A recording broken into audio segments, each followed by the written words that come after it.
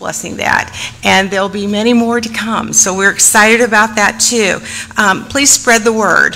Please let your neighbors, your family know that we're going to have Sunday school, and it's going to be a lot of fun. And also, prayerfully consider if the Lord is seeking you for an opportunity to help us in this ministry. Um, we are going to be having um, a meeting on the 29th, a week from tomorrow at 6 p.m. for all those who are interested in helping in this. We're looking, you know, of course, opportunities to teach, be assistants in the classroom, and provide snacks. So we're just looking for um, those who are interested in serving in this ministry. Um, and again, I want to mention if you will please sign up for the Rally Sunday so that we can plan for the amount of food we're going to need. And if you have any questions, please contact me or Phyllis Samela. Phyllis is our Sunday school superintendent. She is on fire for this ministry. I'm so excited, and we are looking forward to this uh, grand opening of our Sunday school program here at Good Shepherd. Thank you.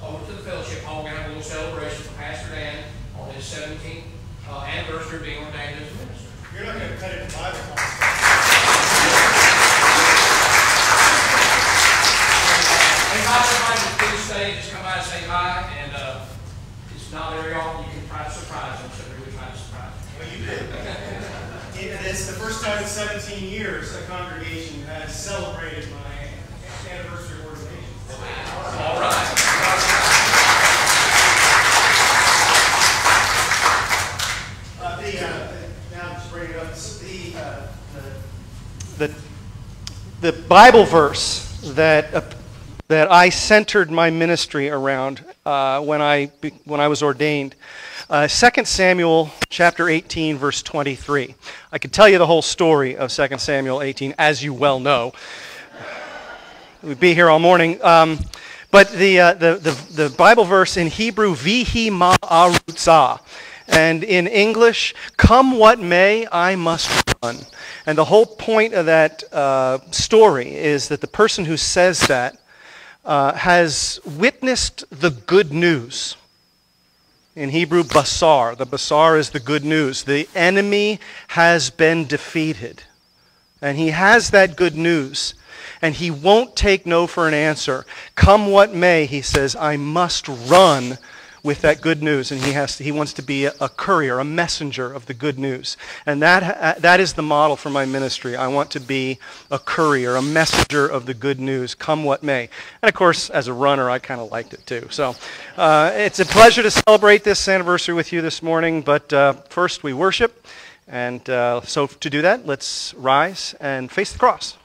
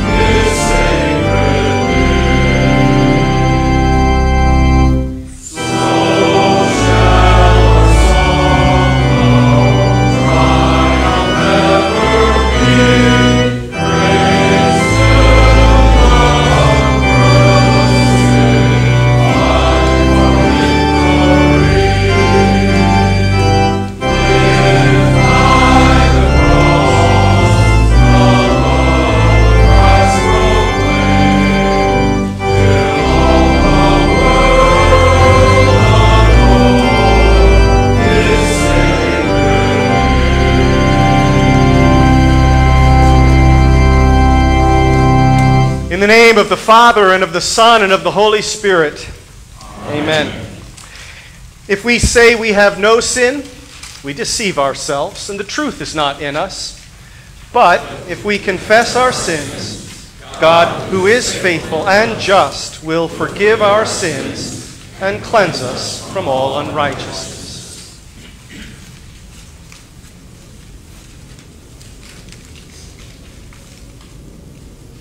Let us then confess our sins to God our Father.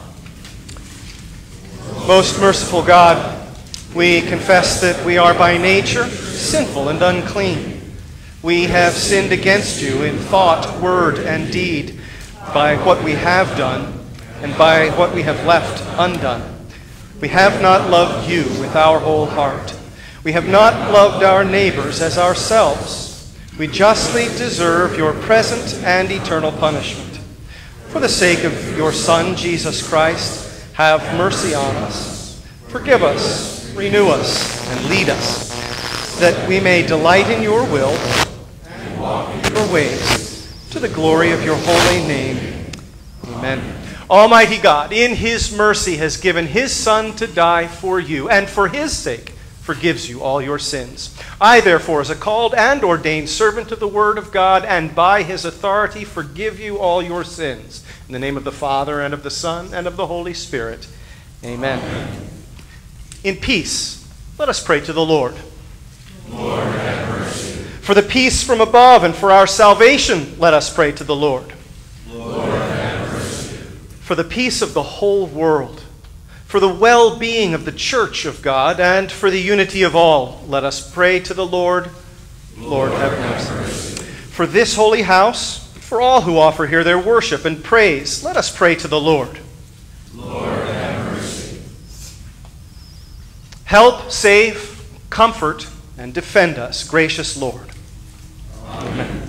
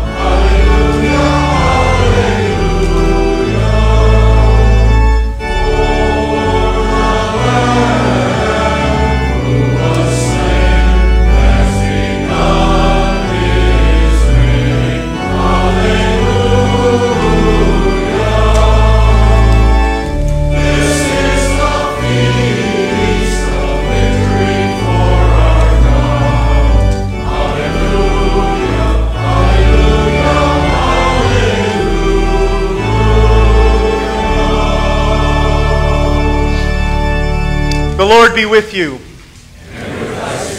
Let us pray. O Lord, preserve your church with your perpetual mercy. Without you, our mortal flesh can only fail. So keep us and lead us away from all things hurtful, and lead us to all things beneficial for our salvation. This we ask through your Son, Jesus Christ our Lord, who lives and reigns with you and the Holy Ghost, one God, now and always. Amen. Congregation may be seated.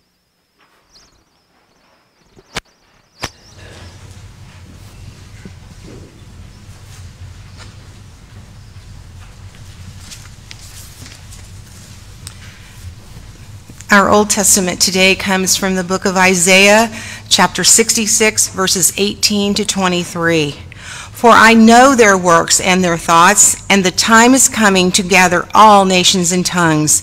And they shall come and shall see my glory, and I will set a sign among them. And from them I will send survivors to the nations, to Tarshish, Pul, and Lud, who draw the bow, to Tubal and Javan, to the coastlands of far off that have not heard my fame or seen my glory. And they shall declare my glory among the nations. And they shall bring all your brothers from all the nations as an offering to the Lord, on horses and in chariots and in litters and on mules and dromedaries, to my holy mountain Jerusalem, says the Lord. Just as the Israelites bring their grain offering in a clean vessel to the house of the Lord, and some of them also I will take for priests and for Levites, says the Lord. For as the new heavens and the new earth that I make shall remain before me, says the Lord, so shall your offspring and your name remain. From new moon to new moon, and from Sabbath to Sabbath, all flesh shall come to worship before me, declares the Lord. This is the word of the Lord. Thanks be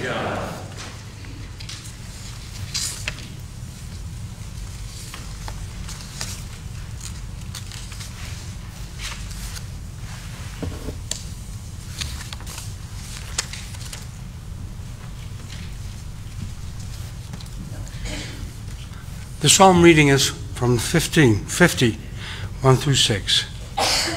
The mighty one, God the Lord, speaks and summons the earth from the rising of the sun to its setting.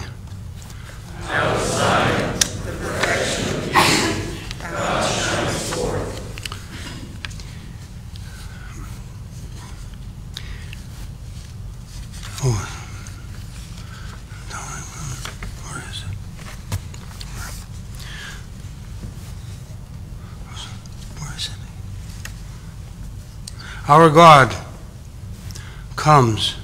He does not keep silence. Before him is a devouring fire. Around him, a mighty tempest. He calls to the heavens above and to the earth that he may judge his people.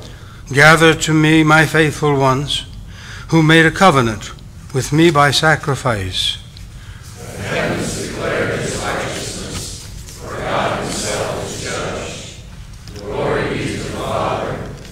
The Son, and to the Holy Spirit, as it was in the beginning, is now, and will be forever.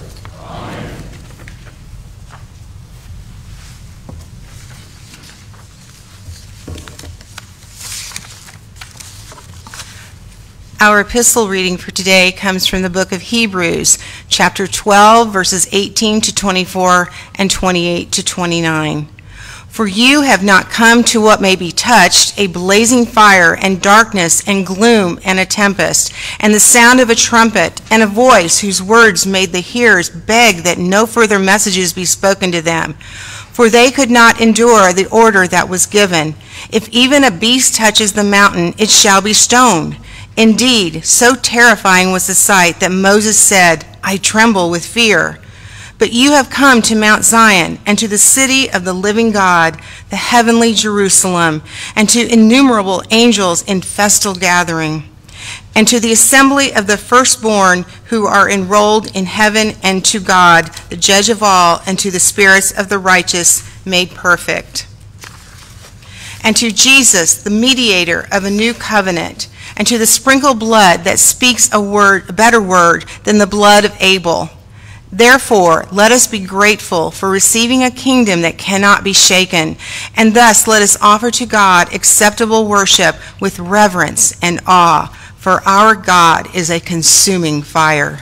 This is the word of the Lord.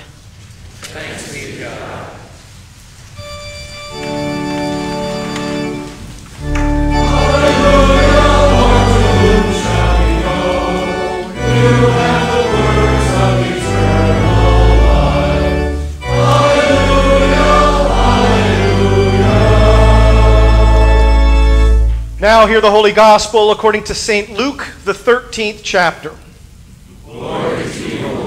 So Jesus went on his way through towns and villages, teaching and journeying toward Jerusalem. And someone said to him, Lord, will those who are saved be few? Well, he said to them, Strive to enter through the narrow door, for many, I tell you, will seek to enter and not be able. When once the master of the house has risen and shut the door, and you begin to stand outside and knock at the door, saying, Lord, open to us, then he will answer you, I do not know where you come from. Then you will begin to say, We ate and drank in your presence. You taught in our streets.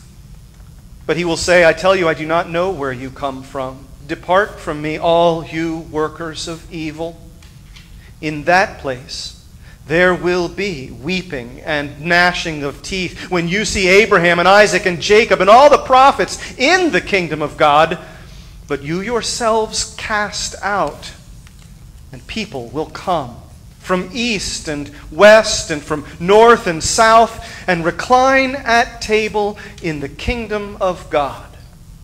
And behold, some are last who will be first, and some are first who will be last. This is the gospel of the Lord. We confess our faith using the words of the Apostles' Creed. I believe in God the Father Almighty, the maker of heaven and earth, and in Jesus Christ, his only Son, our Lord, who was conceived by the Holy Spirit, born of the Virgin Mary, suffered under Pontius Pilate, was crucified, died, and was buried he descended into hell. The third day he rose again from the dead. He ascended into heaven and sits at the right hand of God the Father Almighty. From thence he will come to judge the living and the dead. I believe in the Holy Spirit, the holy Christian church, the communion of saints, the forgiveness of sins, the resurrection of the body, the life everlasting. Amen. I invite you to be seated. Grace to you and peace from God the Father and from our Lord and Savior, Jesus Christ. Amen. The Word of God that engages us in meditation this morning. Don't you love it when, uh, when it's a, the, Bible ver- the Bible verse referred to has a little A or a B or sometimes even a C after it, like it is in the bulletin? Uh, the sermon is titled Nuclear Energy, and then it says Isaiah 66 19a. I don't know, have you ever seen that before? That just means the first part of the verse, specifically this. And I will set a sign among them. I will set a sign among them. Now, before I explain it, I'm going to explain right up front what is the meaning of that verse, and then we're going to dive in. But before I do that, I want to explain the context of uh, Isaiah as he's preaching this.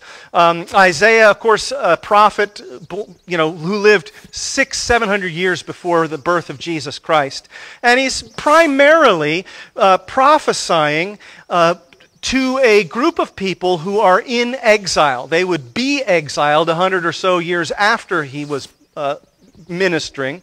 And so his, his book of prophecy is directed to a group of people who have been uh, removed and separated from, uh, from Jerusalem, from the priesthood, from, their, you know, from, from, the, from Mount Zion, from, from the practice of their faith a lot of this we talked about in, when we dealt with the book of Daniel in Bible class. But so that's who uh, Isaiah is uh, prophesying to.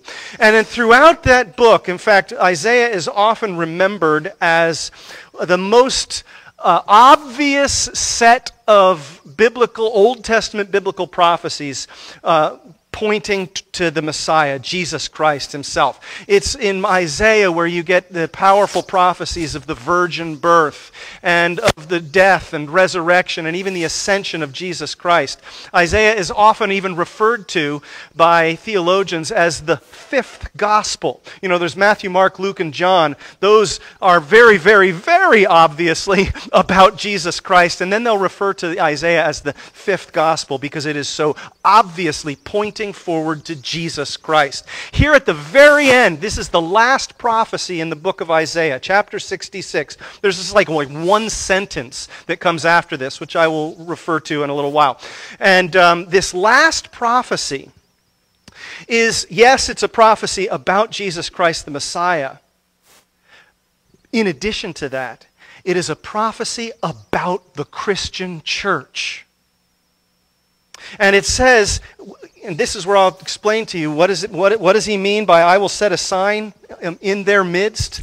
Um, he's talking about Jesus as the nucleus of who we are and what we're doing as a Christian church, even now in the 21st century. And so you know, kind of working off the idea of nuclear energy. When I told Meredith that I want, uh, you know, nuclear energy as a theme and I want the big nuclear, she like looked at me with a little bit of a question mark, like, has Pastor lost his marbles? Which I didn't bother to answer because it's probably true. Um, be that as it may, she, she did a lovely job again on this. Uh, but the idea here is Jesus Christ has been set in the center of who we are and why we're here and what we're about. You know, so what Isaiah has laid out here, some 28, 2,700 years ago, he's laid out for us the who, what, when, where, why, and how of the Christian church as it is centered around its nucleus, Jesus Christ. And then we, almost like, a, like electrons, you know, circle around the nucleus. That's who we are. So we're part of this picture. So that's how I'm going to uncover. I'm going to show you how Isaiah is describing uh, nuclear energy, energy centered around Jesus Christ. And what he unpacks in this brief prophecy here and then tags it with a promise is that here's how nuclear energy works you're scrutinized, you're finalized, you're uh, energized, you're polarized, and then you're galvanized. Yeah, I worked hard on that one. Uh, okay, so we'll take that one at a time. First, uh, this is how nuclear energy. This sounds like it's going to be a science lecture, and I don't know, maybe there'll be a little science at the end. Uh, but first, uh, you are scrutinized, and it comes here in the very, very beginning of verse 18. I know their works and their thoughts says the Lord. I know their works and their thoughts. And here's where I'm going to just do a little bit of, of uh, uncovering. I'm just going to pull back the curtain a little bit on the, on the English and show you the Hebrew that's underneath. For those two words, works and thoughts.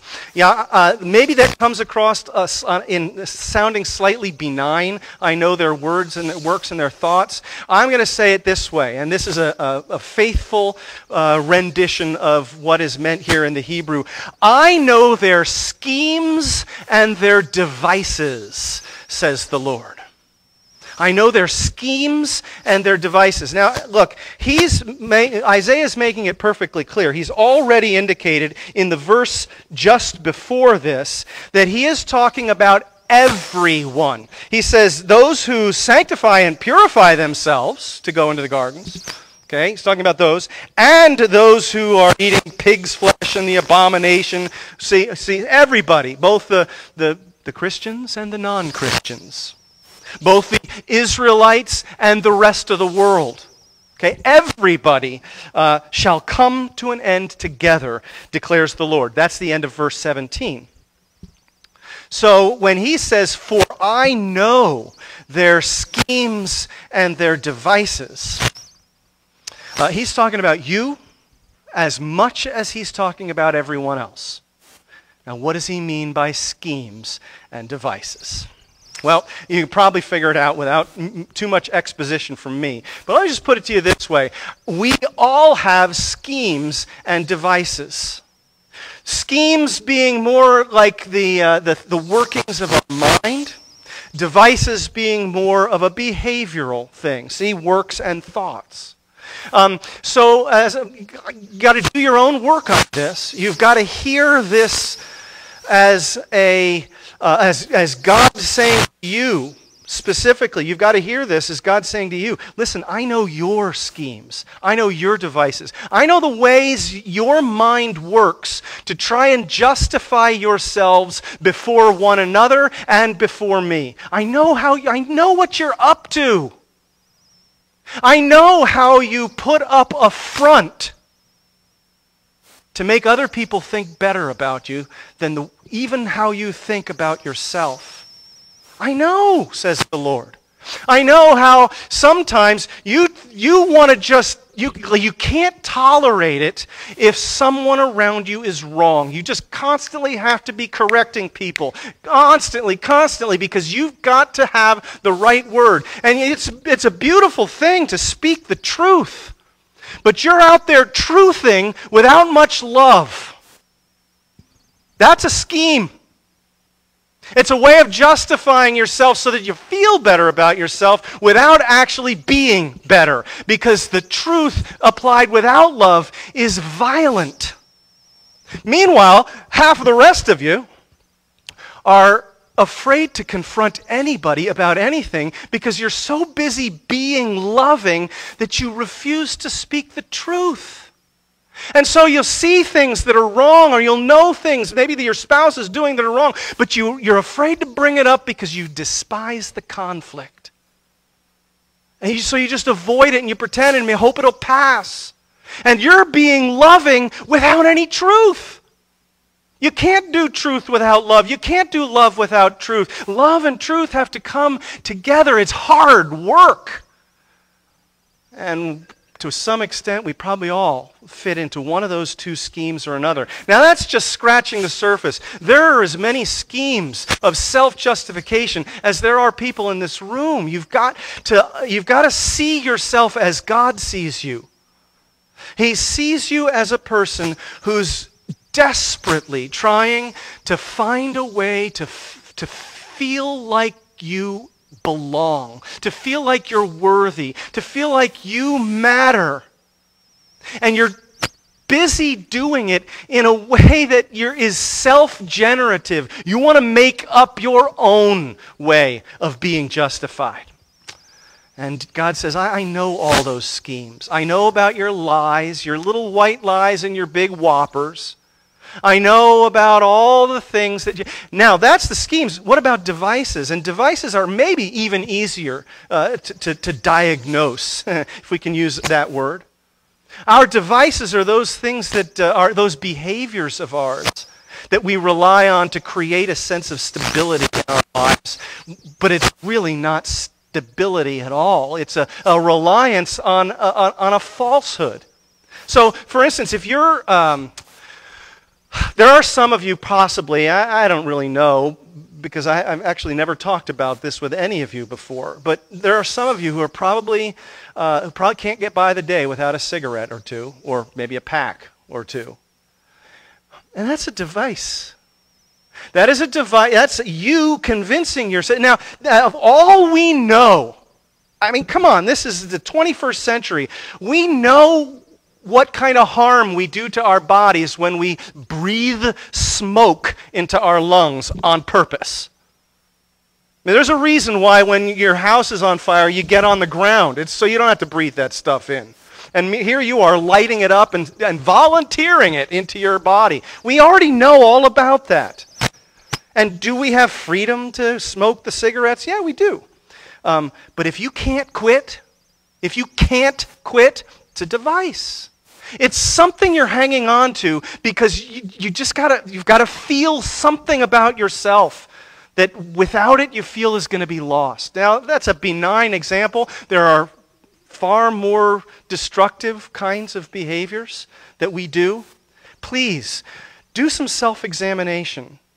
and hear the Lord God saying, Listen, I know you. I know your schemes and I know your devices. You've been scrutinized. Are you okay with that? You, you need to be because you've come to the, his house. And if we say we have no sin, we deceive ourselves. Now, that's what it means to be scrutinized. It means that God knows who you are and he knows your sin. He knows the evil you work. He knows it all. There's no, you might be hiding from each other, you're not hiding from him. You've been scrutinized. Now, you've also been finalized. Look, he says, the time is coming. This entire section, if you look it up in your Bible, it's called the judgment of the Lord, the judgment day of the Lord, the great judgment. I don't know, however, your Bible titles it. This one says final judgment. right? The time is coming. That's because I probably can say every time this language is used in especially in prophetic uh, literature the time is coming it's referring to god's judgment. And i don't know if you've been paying attention to all of the readings that were read this morning but the theme of god's judgment is throughout every single one of them.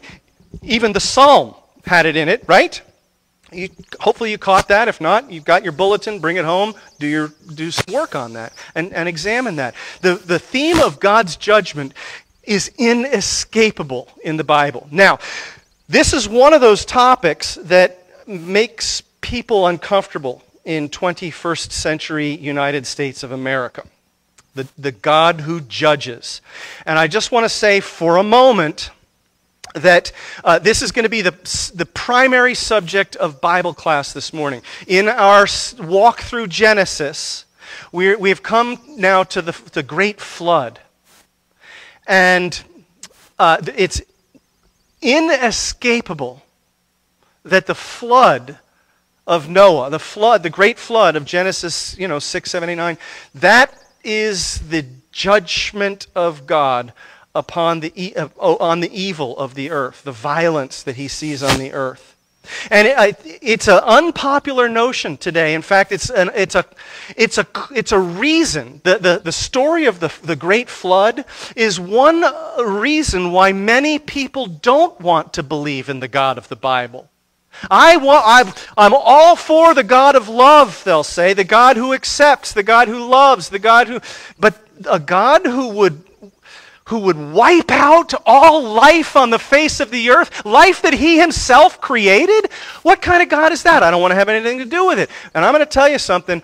The, for, for you and for me, for, for Bible believing Christians like us, we need to be able to hear that and understand it and reply because the, the God who judges is the only hope there is for this world a God who judges. I'm going to unpack that a great deal more in Bible class, and I'm going to hopefully prepare you to, to be able to talk about this story of the flood, the destruction of all flesh.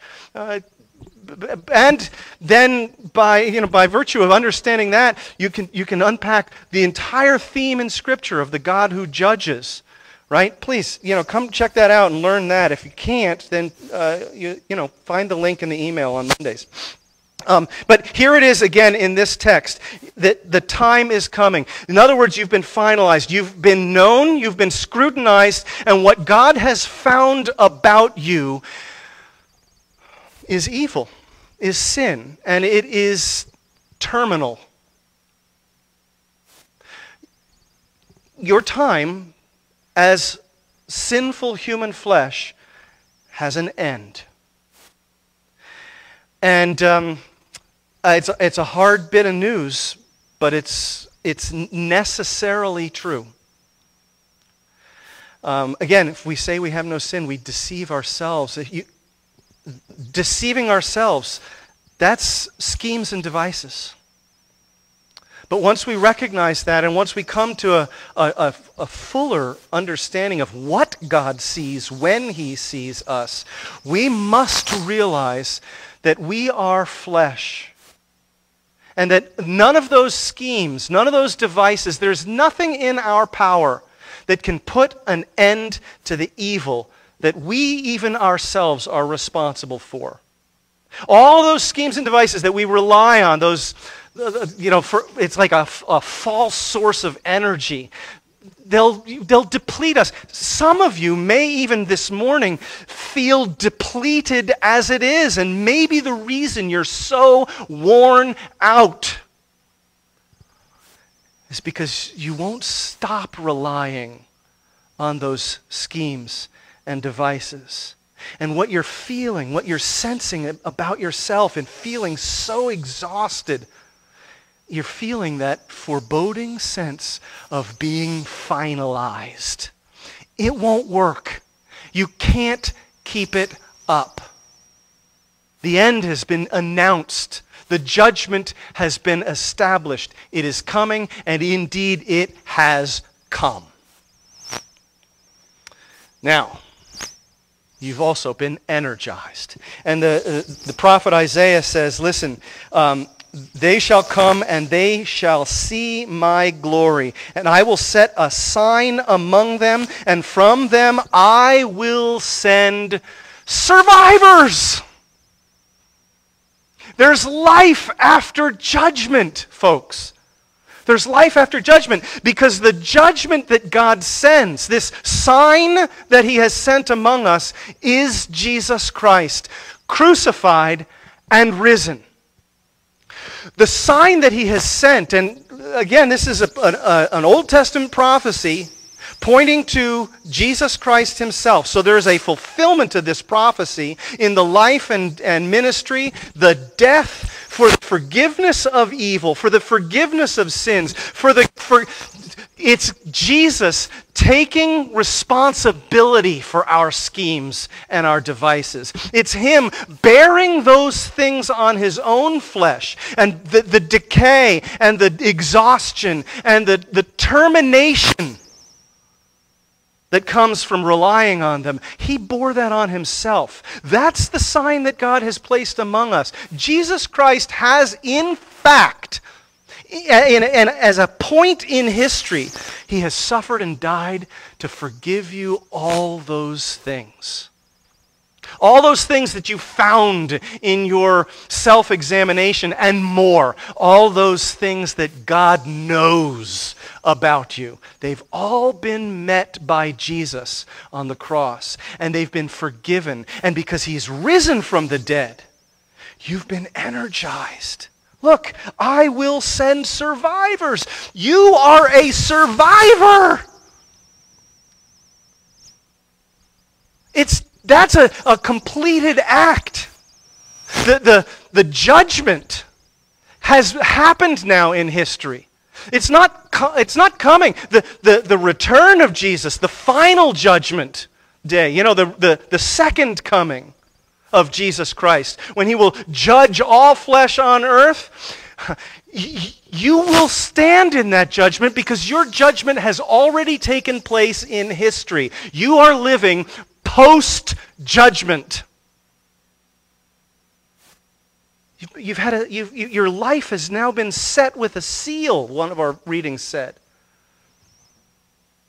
So, this is certainly energizing good news, but where does the energy come from? Ah, it comes from the nucleus. Look what they will see. He will, the sign among us that, that, that, we're, that energizes us, it says, They shall see my glory my glory. Now, I want, I want to share with you a little bit about what that word means, too. Again, we're going to just kind of peel back the curtain a little bit on the, on the, on the Hebrew language. The word uh, for glory in, in the Hebrew language has to do with weightiness or significance, it has to do with substance. The word means like huge in a way. It means heavy. It means large. It means substantive. And it's, in a sense, it's the opposite of what the uh, prophet in Ecclesiastes means when he says, and we, we covered this actually just a few weeks ago. You remember? Vanity, oh, vanity, everything is vanity. What is there for a man to gain by all his toil on earth? This too is vanity. And we talked about how, uh, how meaningless. How like vapor is the way that word comes across in Hebrew. It's it's a wisp. It's nothing. It's it's emptiness. And the very opposite then. So that characterizes exactly what we've been talking about the emptiness of these false pursuits. The very opposite is the glory of God, the substance of God, the fact that Jesus Christ is undeniably real. He was born in human flesh, people touched his hands, they ate with him. He ate. He's not a ghost, he ate food. They grabbed onto his feet after his resurrection. They wanted to know he was real. See, back in those days, they believed that ghosts didn't have feet. So, you know that story where the ladies are grabbing onto his feet after he's been raised from the dead? They needed to know that this Jesus has substance. He's real. That's his glory. His glory is that the victory over that which would end you is complete. Now, if that doesn't energize you, what does?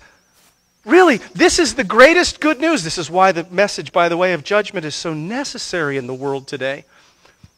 We'll get more to that in a little while. But uh, you've, you've, yes, you've been scrutinized. Yes, you've been finalized. But you have been energized by Jesus Christ Himself, who has been set in your midst. His is the glory of God. You might imagine the glory of God as being an explanation of His very name. Remember, He says, My name is I am. He just is. He is substance itself. Nothing exists that doesn't exist in Him. He is our nucleus. He is the, the energy that, uh, that, that moves us. And, and look, I will, you know, I will set aside, I will, I will send them. So he has energized us as survivors to the nations. It, he lists them. And by the way, Dina, you must have practiced. You, your pronunciation of these, these words in here was perfect right? So to Tarshish and to Pul and to Lud and to Tubal and Javan. You know what's going on there? The, the prophet Isaiah is saying to a bunch of uh, sectarian thinkers, to a bunch of Israelites whose whole concept was that God only belongs to the Israelites. And Isaiah is saying, eh, I belong to the world. I belong to everyone. And I'm sending, I'm energizing you to be messengers, to be couriers of the good news, to go out into Lud. And I don't know where those places are today, but I do know uh, some of the names of the towns in Hall County. And that's where you're being sent. Your energy is to be spent getting out there and being a, a, witness to the glory of God uh, I will declare you, it says, they shall declare my glory among the nations.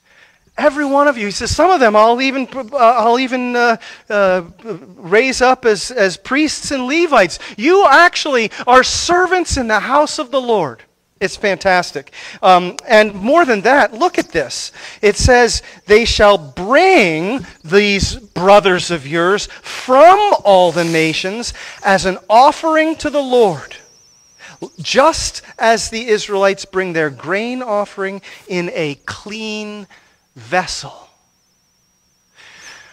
Here's what he's saying. Just kind of cut through the, the, the uh, rhetoric here the Israelites would bring their offerings in a clean vessel, a ritually purified vessel, a vessel that was, was sanctified and set apart for a special service. That special service was the worship of the Lord their God. And they would bring their offering in this only in this clean vessel because what they're bringing to the Lord is, is you know, the fruit of their ministry, of their, of their work, their ministry. And so you now are that vessel. You're the thing that has been purified. You're the thing that has been cleaned and purified, sanctified, and set apart for the holy work of ministry in this world. And the thing that you're, you're this vessel, the thing that you're bringing into the to the worship of the Lord are you the, those brothers and sisters of yours out there in Hall County who uh, you've witnessed to the glory of the Lord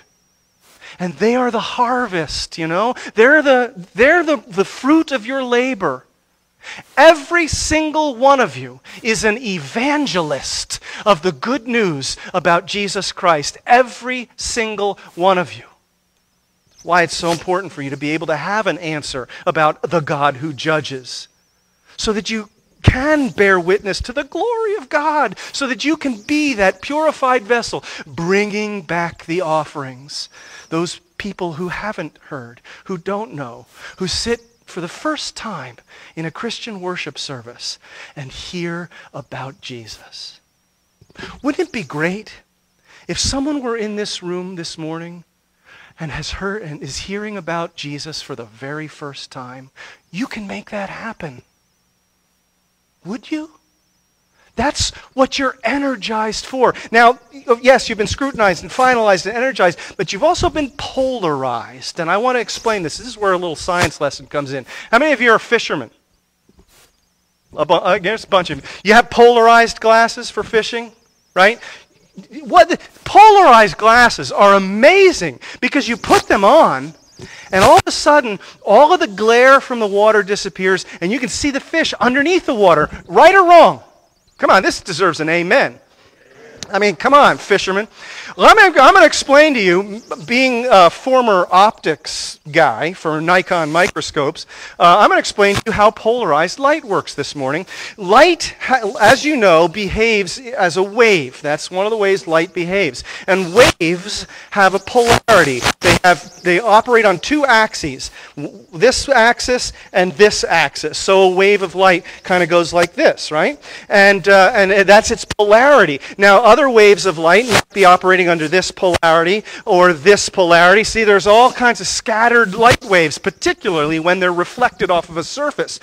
A polarizer is a picket fence for light. It blocks all of the other polarities of light and only, only permits through light that is organized under a certain polarity. Now, you can test your polarized glasses by grabbing a, a, a, second set of them. And if you take your polarized glasses, one in front of the other, and rotate one of them 90 degrees, have you ever done that?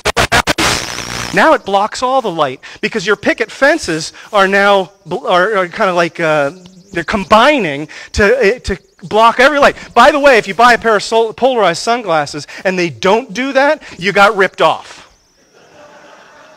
because they're not polarizers. You've been polarized as Christians. You haven't been energized merely to run around haphazardly in a, in a disorganized fashion. It says here that you are, you know, you're out there declaring your glory among the nations, but you're returning with this, this offering of human, you know, people, the, these people that, you, that you've witnessed to the glory of God, and you're returning them to my holy mountain, Jerusalem. An Old Testament reference to the person and work of Jesus Christ. Your polarity, your polarity is from Jesus Christ to the world and back to Jesus Christ and back to the world and back to Jesus Christ and back to the world. You can think of it like this Sunday morning, here you are, gathered around the nucleus to hear and to, to be forgiven of your sins and to be strengthened in your faith, to receive the body and blood of Jesus Christ for the forgiveness of your sins, and then to be sent back out. And not in a haphazard way, but in a highly organized way, in a polarized way, in a perfectly organized way. This is why it's important to have church councils and elders and uh, planning and meetings, and it's important to have all that stuff. And, uh, you know, look, we, we as a church, I have to say, the, the polarity around here is profoundly good. We're, we're, we're, polarized well here. I want to just pause for a moment to give thanks to God for the work, Dina comes from you. Uh, largely, Janet comes, Janet Fitzgerald comes through your hard work and the hard work of all of you who are small group ministry leaders. Folks, a full 90 of you, that's nine with a zero after it, a full 90 of you have signed up to be in a small group. That is incredibly amazing. That means that, the, that the, the work of bearing witness to Jesus Christ as a Savior is, is very active. It means you guys are energized. And my prayer for all those small groups, my prayer is that you remain polarized towards Jesus Christ and the world. That that polarity is maintained. So if you're signed up for a small group, please um, make sure you go. Participate. Keep that, that polarity uh, at work in your life. So, uh, again, thanks be to God for that incredible work. Now, lastly, let's kind of tag this on in the end. Uh, you've been galvanized. All of this uh, in Isaiah, all of this prophecy, this he says this is what the church is going to look like, and lo and behold, that is what the church looks like. Somehow Isaiah understood it 2,700 years ago. Um, but he, he, he galvanizes all of this with a promise.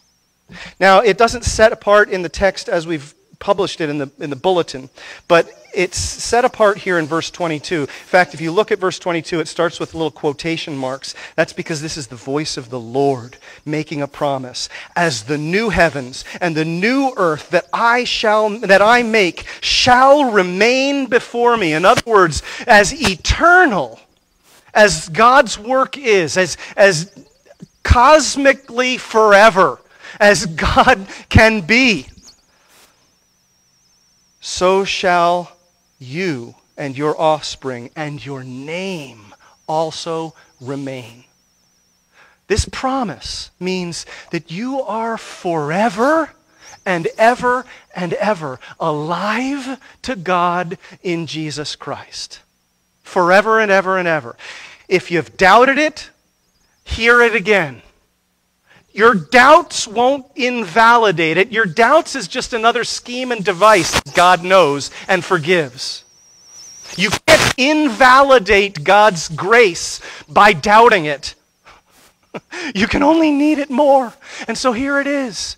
There is nothing you can ever do that will make God stop loving you and forgiving you and receiving you centered around the glory of his Son, Jesus Christ. Amen.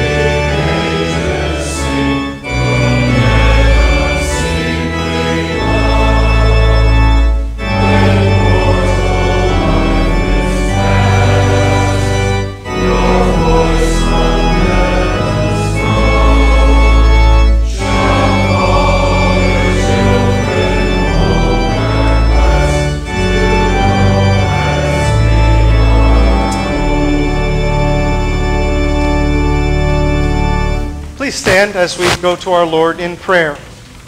Almighty God, we give you thanks for your goodness. We bless you for the love that sustains us from day to day.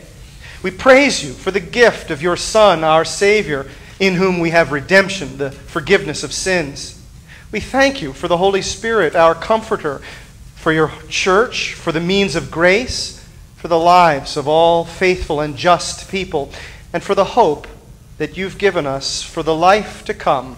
Help us to remain constant in the struggle of faith, empowered by the cross of Jesus Christ, filled with hope and filled with confidence. Lord, in your mercy, hear our prayer.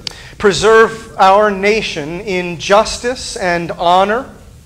Grant health and favor to all who bear the offices of government in our land. Guard and protect also those who serve in the armed forces of our country.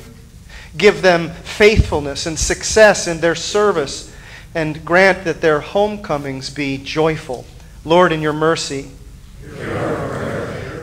Lord, by your word and spirit, comfort all those who are in sorrow, in need, in sickness, or any kind of adversity. Be with those also who suffer persecution for the faith. Have mercy on all for whom death draws near. Sustain and bless all who care for those who suffer, Lord, in your mercy. And we remember with thanksgiving those who have loved and served you in your church on earth, who now rest from their labors. Keep us in fellowship with all your saints, bringing us at last to the joys of your heavenly kingdom. Lord, in your mercy, hear our prayer. And into your hands we commend all for whom we pray, trusting in your mercy through your Son, Jesus Christ our Lord, who has taught us to pray, Our Father, who art in heaven, hallowed be thy name. Thy kingdom come, thy will be done on earth as it is in heaven. Give us this day our daily bread, and forgive us our trespasses, as we forgive those who trespass against us and lead us not into temptation, but deliver us from evil. For thine is the kingdom, the power, and the glory, forever and ever. Amen.